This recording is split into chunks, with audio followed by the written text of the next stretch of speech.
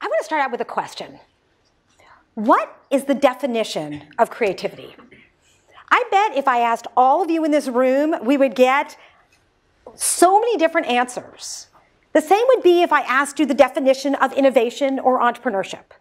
And this is a huge problem because if you want to teach about these things, if you want to learn them, if you want to practice them, if you want to master them, you need to have a clear set of vocabulary and relationships between these things. I have to tell you, as someone who runs the Stanford Technology Ventures program along with my colleagues, every single week we get questions from people that say, come on, can you really teach creativity? Can you really teach people to be entrepreneurial? And the fact is, of course, you can. But one of the problems is that we don't have a clear set of definitions and a vocabulary that helps understand what this is. This is in sharp contrast to other disciplines like physics or math or biology. Because in those fields, we have very clearly defined terms and relationships. And those clearly defined terms and relationships then allow us to apply these concepts more broadly, right? The building we're in, drones you might be flying, rocket ships, cars, uh, medical inventions, all of these depend upon some very fundamental principles that then get applied. So I've been thinking about this for a long time. I teach a class called Creativity and Innovation that I've been teaching for almost 15 years. And I realized that we really need a very strong set of definitions of relationships. So I'm going to right now introduce you to what I think is a set of ideas and a framework that I hope will be helpful. And so I want you to tell me at the end whether this is a useful construct for you to think about the way we go from inspiration to implementation. So let's start. Let's start with imagination. Imagination, I define very simply, is the ability to envision things that don't yet exist. Do you guys buy that? Okay, right? I can envision someone coming down the aisle with a plate of cookies, or the Stanford band coming in and playing a fight song. Okay, so imagination is the ability to envision things that don't exist.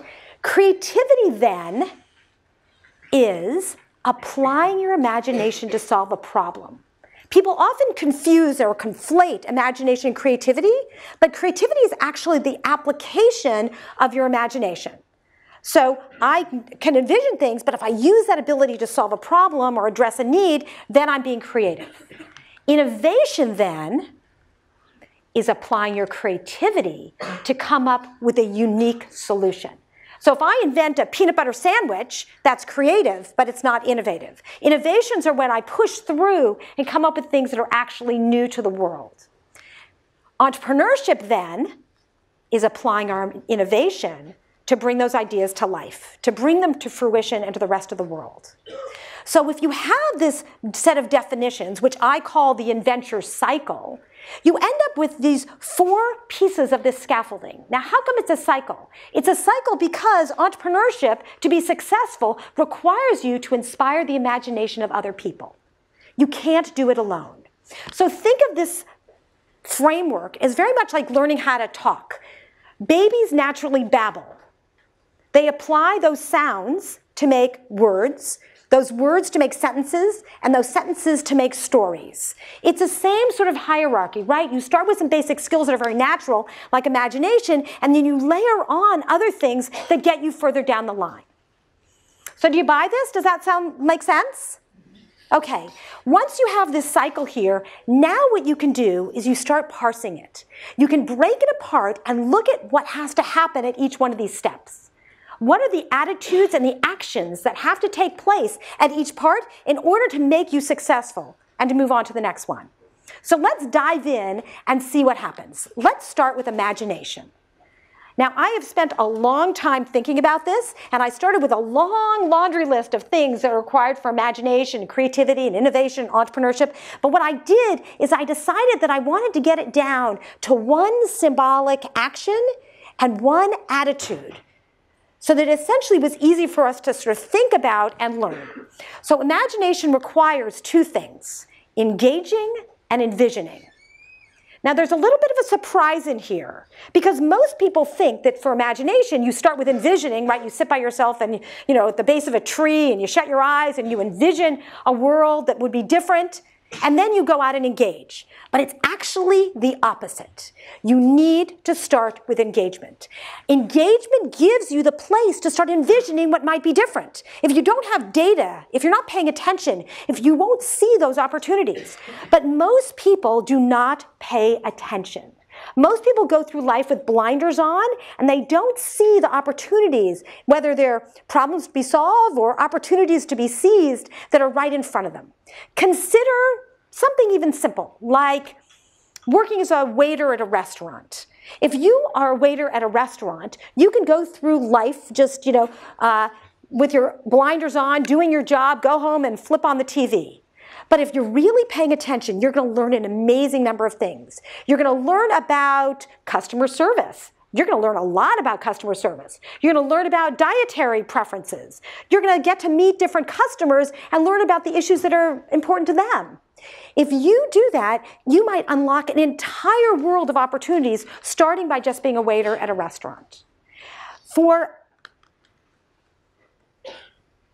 many people, they don't know that they have a passion until they're engaged with something. Let me tell you a story that actually was shared right here on this stage. This is a story that was shared by Scott Harrison, the founder of Charity Water. Were any of you in the room when he was here last year? Great, a couple of you. What an impressive talk, and I really recommend it. But this guy was not so impressive when he was 20 years old. When he was 20 years old, you know what he was doing? He was a promoter at a nightclub in New York, and his job was to get people drunk. And the drunker he got them, the better. And he was really good at this. And as a result, he became an alcoholic, he became a drug addict. His life was just a terrible mess. And you know what happened? One day he woke up and said, You know what? I hate my life. My life is horrible. I need the opposite of my life. So what he did is he wrote to all of these charities around the world and he said, I want to volunteer. I want to volunteer to be helpful. And they all wrote back and said no. They said, you don't look like someone who could be very helpful. So he kept writing letters, and he finally got a letter back from an organization called Mercy Ships. And Mercy Ships sends doctors to places in the world where they go for a couple weeks to really underserved areas, and they provi- provide medicine and procedures. Well, they said, you know what? You could come along if you pay us. Okay? And uh, why don't you take photos? Because you have some background in photography from when you were in college, so you can be the journalist to capture what's going on. He jumped at the task, he signed his name to his check, and he took off. He ended up going to Liberia. And in Liberia, he saw people who were suffering from incredible waterborne diseases. He became impassioned about how to solve this problem. He became incredibly driven and motivated to do something. And the fact is, he went back to New York and started this organization called Charity Water that has had now a profound impact on helping those 800 million people around the planet who don't have access to clean water. But the fact is, he would not have found out this idea sitting in his apartment in New York. This came about by engaging. So the fact is, you need to engage before you can envision things that would be different. So once you're imagining the world differently, you then move on to creativity. Creativity requires two things. It requires motivation and experimentation right? We every single day are tripping over problems, tripping over opportunities. Most of them don't really grab us. It's like, wow, that really made me frustrated, or that was an opportunity, but we don't do anything. But it's those things that motivate us, that get us to start experimenting. That's where the creativity comes in. Unfortunately, lots of people don't do this. Most people in the world are puzzle builders. These are the folks who sort of look at their life as uh, building a puzzle. And they have the box top, they know exactly what their life should look like, and they're trying to get all the pieces to put together to complete the puzzle.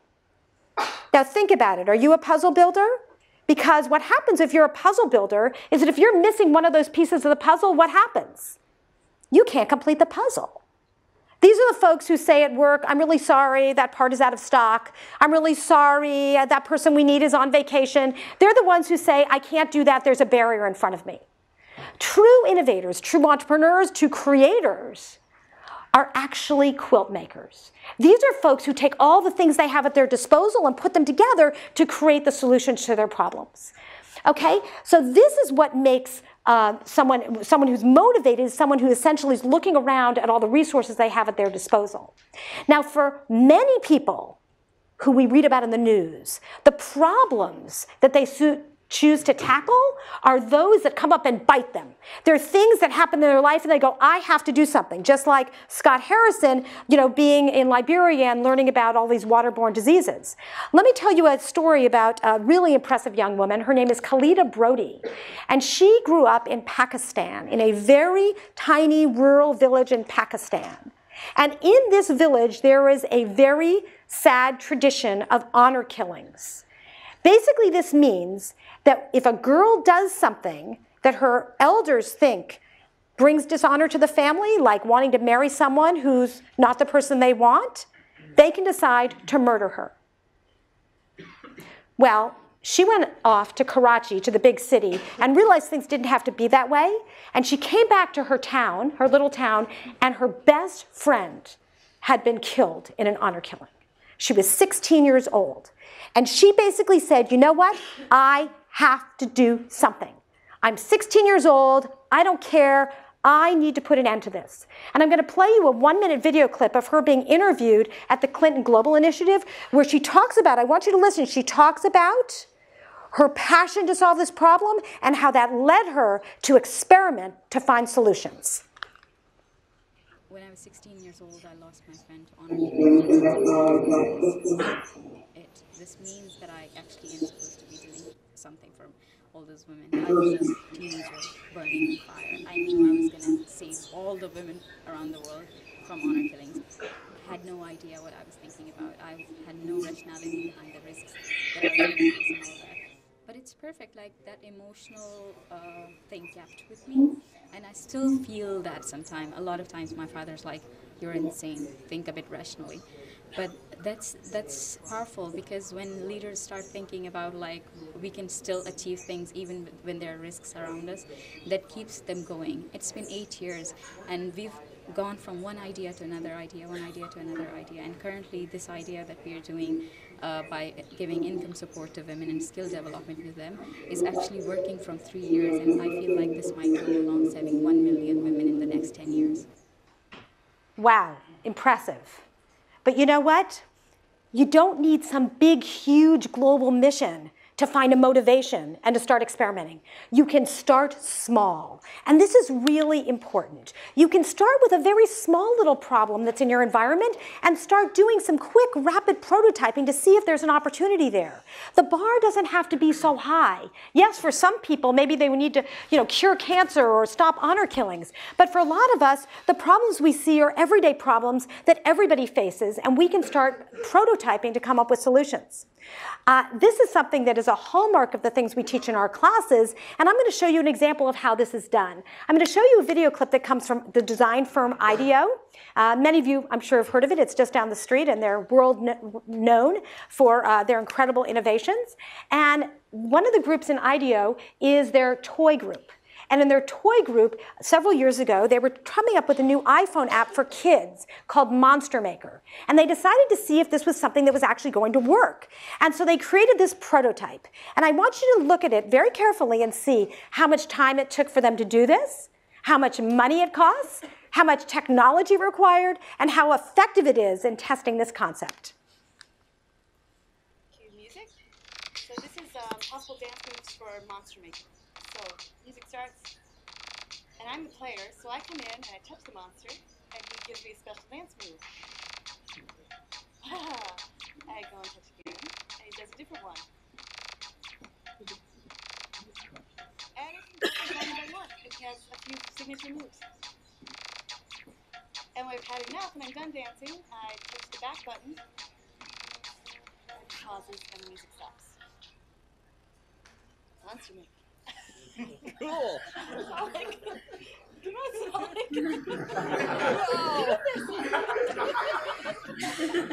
okay, so how much time did that take to make? Not very much, maybe a couple hours? How much money did it cost? Not so much, right? How much technology did this require? How effective was it? Great, right? I was giving a talk and there were some little girls in the audience and they came down at the end and they wanted to buy the app. Okay, pretty effective. Okay, so this is what I mean when I talk about motivation experimentation. It bar doesn't have to be so high. It might be, but it doesn't have to be. And this is where creativity comes from. These ideas don't necessarily have to be new to the world, but they're certainly new to you.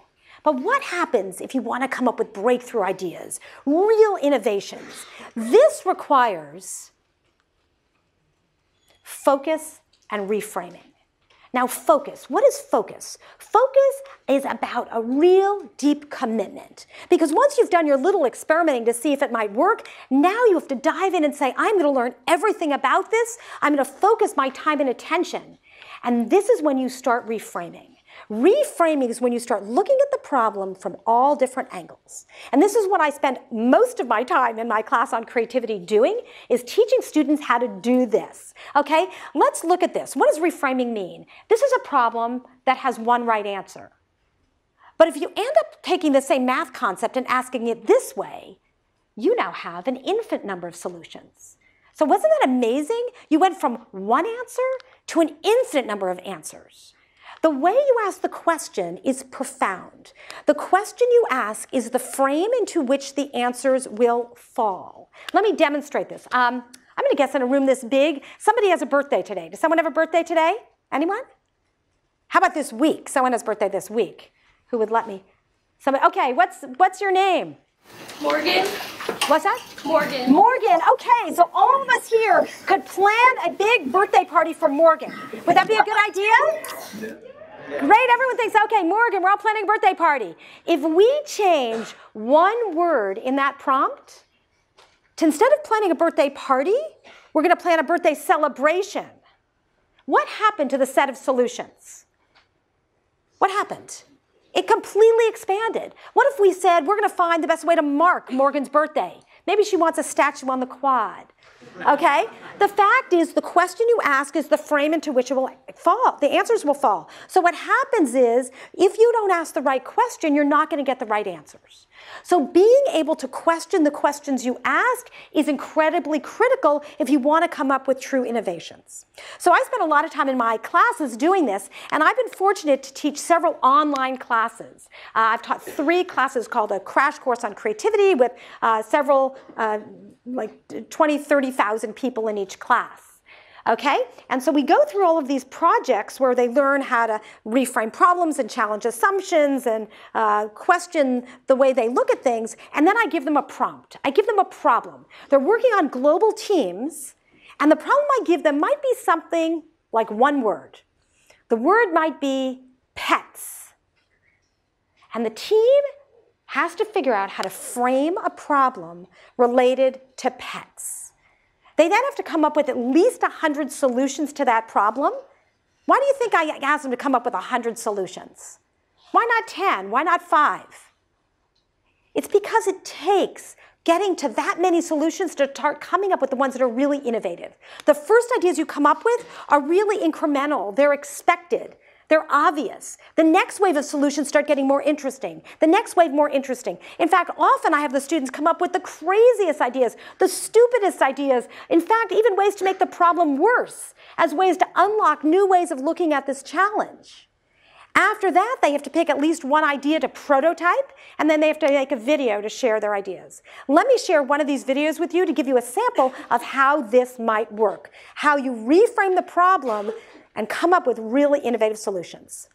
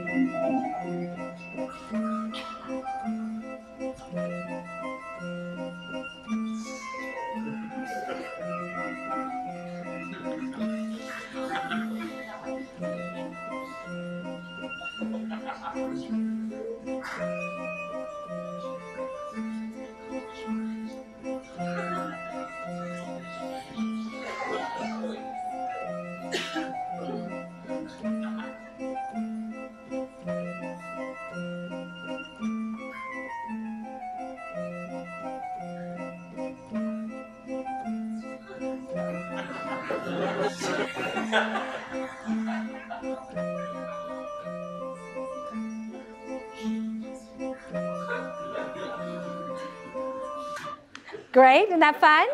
Super, great. So uh, that is an example of innovation by reframing problems, challenging assumptions, and looking things in brand new ways. So then we get to entrepreneurship. Entrepreneurship requires two things. It requires persistence and inspiring others. Now, what is persistence? Persistence is essentially grit. It's those people who basically will walk through walls to get things done.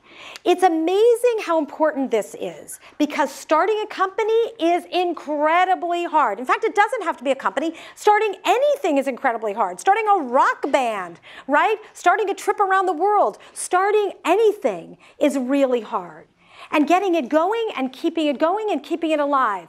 You know, it's interesting. This morning I was at a uh, offsite at a, at a company with some of our students, and the founders of the company were telling their story, and everyone was sitting on the edge of their chair because the company was having near-death experiences just about every week.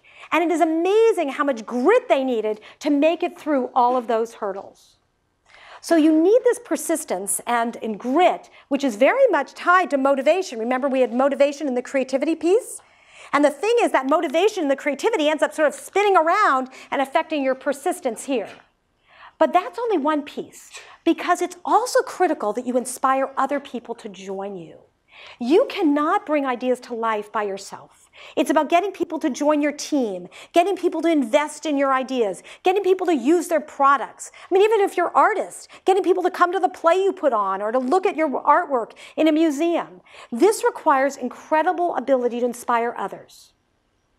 Now, we spend a lot of time teaching our students how to do this. On one side of campus, uh, it might be called giving a pitch. On another side of campus, it might be called storytelling. But in all in all, it's about inspiring other people.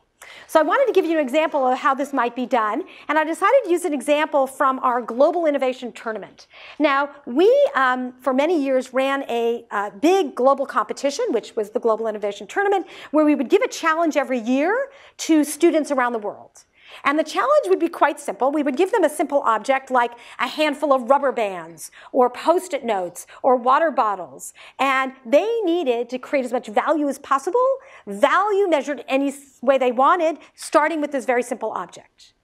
And the th core of the assignment was to look at things, the world is opportunity rich, and to see how they could reframe and look at this very simple thing in a new way. And of course, they then had to tell the story and uh, inspire other people. So this is an example that came from one of the teams here at Stanford who was doing the project with rubber bands. And you'll see that the, the project they came up with was quite simple, but their storytelling is brilliant. Tired of bikes gobbling up your laces? Troublesome doorways. Loose laces caught in vicious vacuums? Constantly fighting your garbage disposal for your shoes. Being hounded at school by shoe bandits. You need shoe bands. With our revolutionary technology, you'll never worry about shoelaces getting untied again. Shoe bands will make you more stylish, lose 10 pounds instantly, and will save baby penguins from global warming. Everybody loves them. 50 years of R&D utilizing Six Sigma, lean production, and other buzzword processes went into the development of shoe bands. Procured from pencil erasers, our rubber is vulcanized twice to remove bad karma. Here's what our customers have to say. As an athlete, I need my shoes to stay on. Velcro provides some security, but to really get the job done, I use my shoe bands. Recently, one of our customers wrote in to tell us about an experience where her shoe bands saved her life.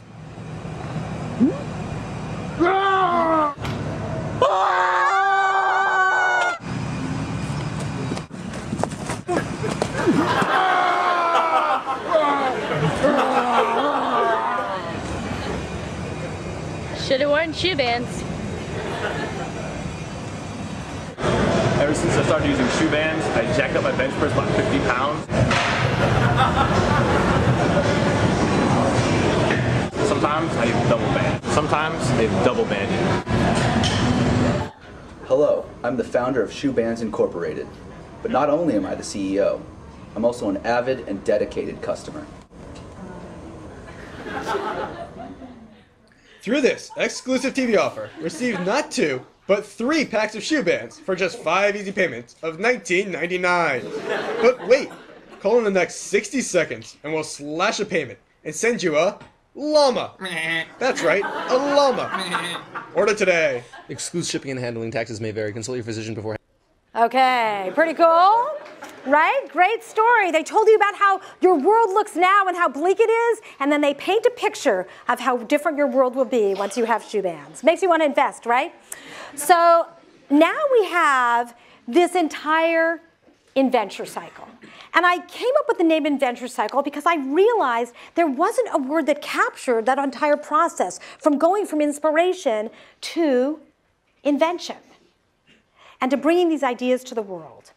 One thing that's important to note is that every organization needs to have people in all of these roles. Not every person needs to do all of this, but you need those people who are the imaginers, who come up with the big ideas. You need the people who are the creators, who know how to solve the everyday problems. You need the innovators who really need to break through and come up with really bold, brand new ideas. And you need the entrepreneurs, the ones who know how to scale and get it out.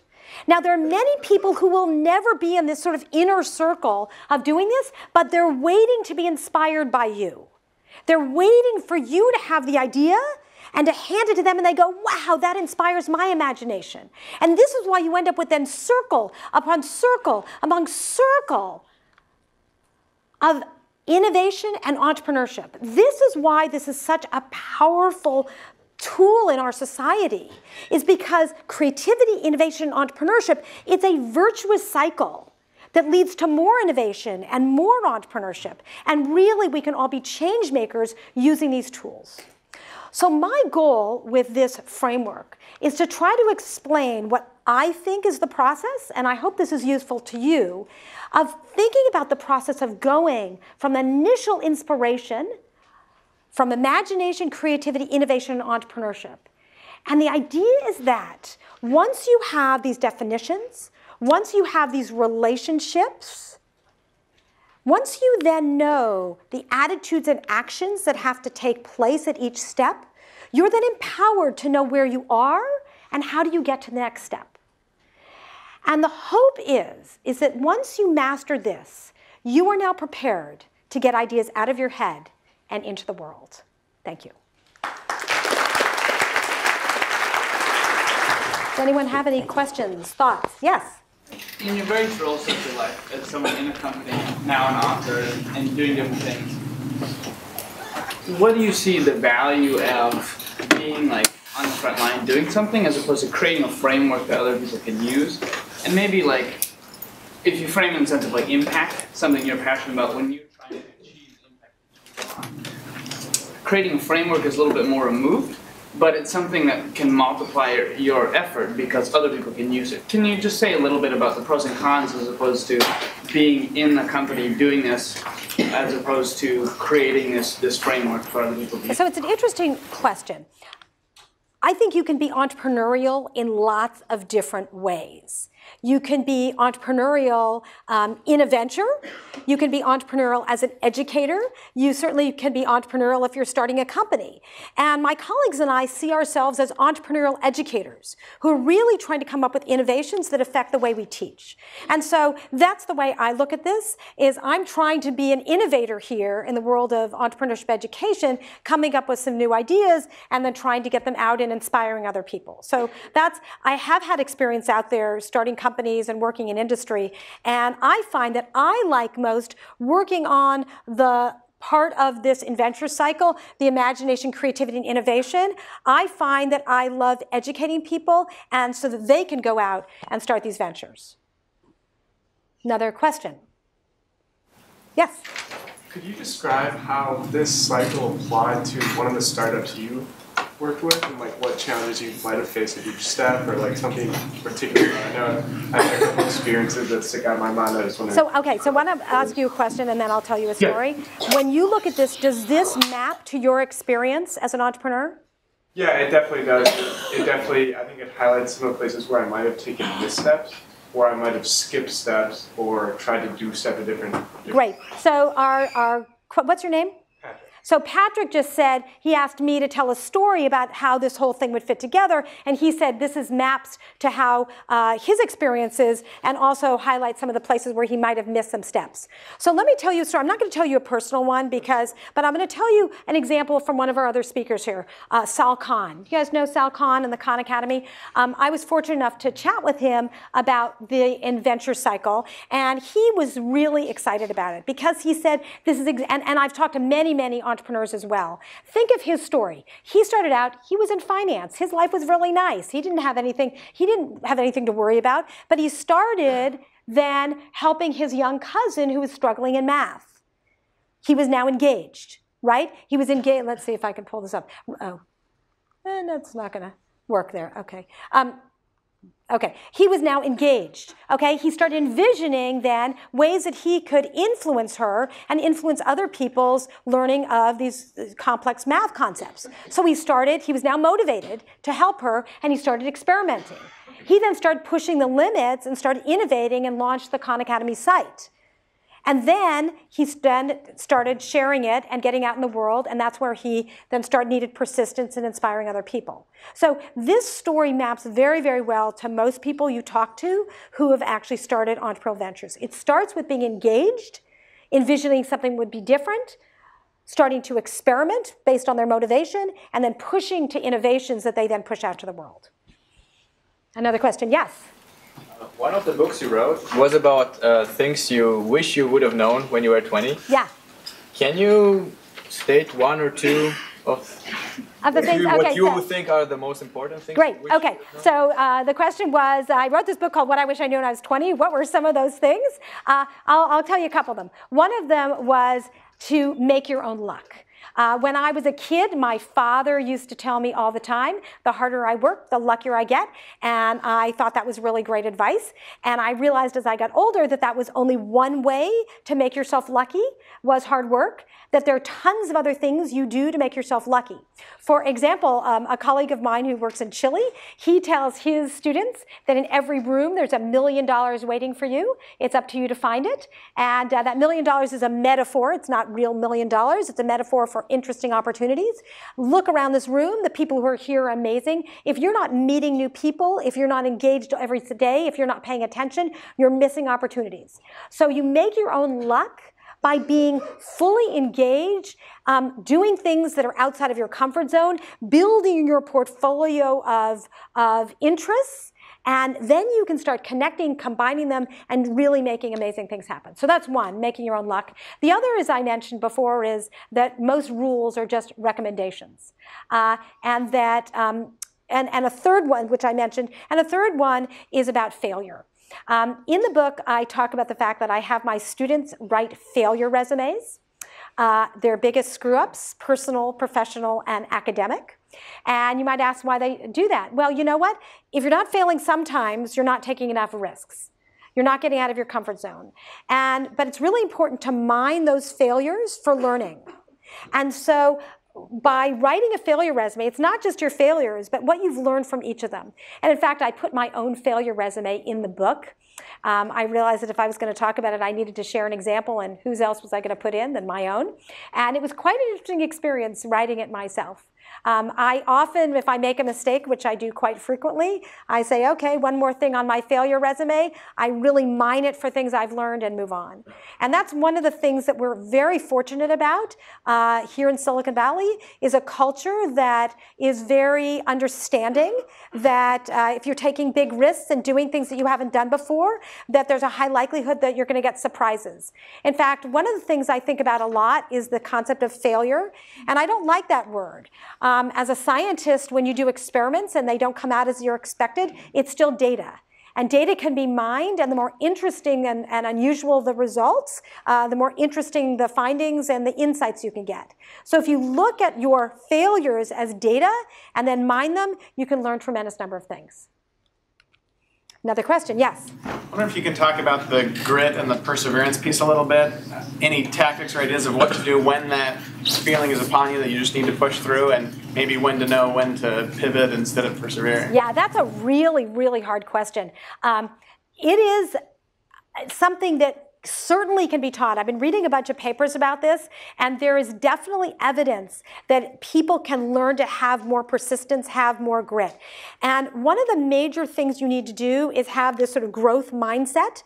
Those people who have a fixed mindset, and probably you're familiar with Carol Dweck's work on this uh, from, from across campus, but people who have fixed mindset, who basically think, okay, this is what I can do, and if I fail, that just means I'm a failure, as opposed to those people who say, I, you know, I have a growth mindset, and therefore, when I hit a wall, this is an opportunity for me to really stretch.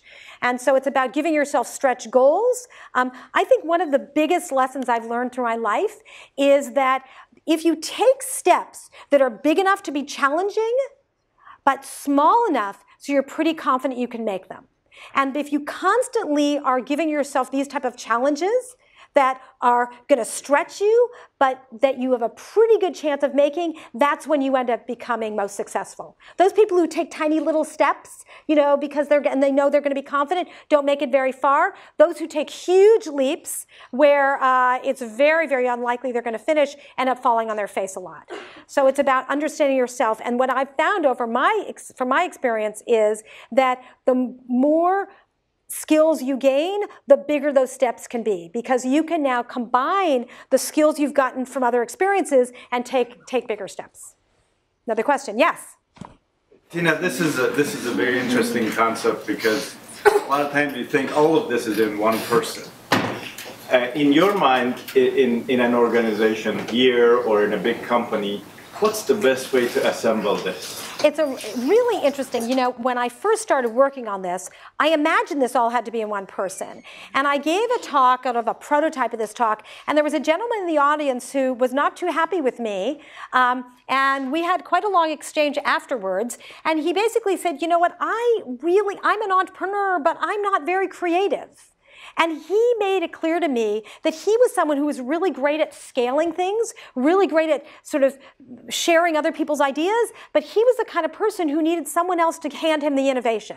And I realized that that was a really interesting point, is that everyone doesn't have to be good at all of this. When you're founding a company, it's one of the reasons that we like founding teams, because you can get people with complementary skills who are going to help you fill out this whole thing. And so when the, the whole inventure cycle. And so when you're putting together a team, one of the most important things to do is to think about who plays different roles and can fill in this entire process. Another question, yes? If you could speak a little bit about school and more specifically, like one thing I'm sure you've noticed in your experience teaching is that like students who are kind of like bit with entrepreneurship have this itch to get out into the real world. And oftentimes you lose sight of the, I guess, the charms of being in academia and being in a place like this. Um, so I was wondering, since you've seen them both, what are what are things that we as students should be cognizant of while we're here that we should really make the most of while we have the chance? Great. So the question is, what should we be making the most of while we're here at uh, Stanford, as opposed to getting this incredible itch to get out? Well, one of the things that's most amazing about Stanford is just the people here, right? And it's a huge opportunity to get to know your classmates. These are the people who you're going to be working with, you're going to be working for, who are going to be working for you, uh, who you're going to found ventures with. Um, it's an amazing opportunity to build your community. Um, it's also an incredible opportunity to build your wealth base of knowledge. You know what? I spent a lot of time in my book, inGenius, talking about this, is that your knowledge is the toolbox for your imagination imagination. If you don't have a toolbox a, for your imagination, essentially you could say you're, you know, engaging and learning and having a whole uh, uh, sort of uh, box of, of insights, you don't have anything to work with right? I can teach you as many creativity tools as you want about reframing problems or challenging assumptions or connecting, combining ideas. But if you don't have anything to connect and combine, you don't have anything to work with. So it's really important to, uh, to uh, get the base of knowledge to work with. We often talk about here, and many of you have probably heard the concept of T-shaped people, right? Those people with a depth of knowledge in at least one discipline, and then a breadth of knowledge across others, and also including innovation and entrepreneurship. I think that's what you want to do is get out of school school is get that depth of knowledge. You know, it's interesting. I'm a neurophysiologist by training, and you might say, how does that help me? It helps me every day. Um, I know what it's like to go deep into a field. I often use examples or metaphors, and that I and I can walk into most organizations, and there are things that are relevant based on the things I learned through that experience. So I would certainly not discount my education at all. Now, of course, there are people who have some burning desire to go run and start something go for it. You know, as I said, you're the customer. You need to map your own course, and uh, there is no right answer. It's really up to you to, to chart it. Any other questions? So let me ask you, just in closing, I would love to get some insights from you on what, I just take one second to let me know what part of this inventure cycle model is the most interesting or valuable or insightful for you, and maybe even any open questions, since this is a brand new idea, uh, for you to give me some feedback. Anyone want to share some insight on this that you would be, um, how you might use this? Um, I had always thought of creativity and innovation as kind of being synonymous, and I think the distinction between creating unique solutions and just creating was this is really, really important. So what she said was that most people think of creativity and innovation as being synonymous. And I have to tell you, I fell into that trap too. I was teaching this class called Creativity and Innovation for a dozen years before I realized, you know what? I'm actually using these words the same way. And it's a huge missed opportunity. If we think of creativity as an idea that's new to me, but innovation is an idea that's new to the world, we all of a sudden open up the opportunity to push ourselves beyond the creative ideas to come up with real innovations. So I want to thank you all for your time, your attention, and your enthusiasm. Thank you.